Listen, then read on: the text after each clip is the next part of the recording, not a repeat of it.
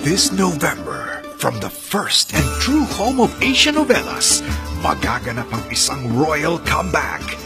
Meet Janelle. Simpleng estudyante. Hayaan mo punasan ko. Tama na. Tapon mo na yan.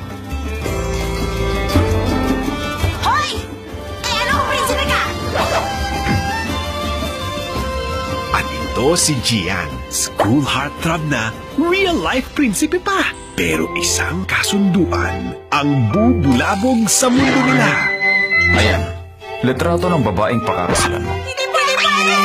Papa, hindi na uso mga fixed marriage. Paano kung si prinsipe may mahal palang iba? Oh my God! At may iba namang may gusto kay prinsesa? Maswerte ako at naging kaibigan kita.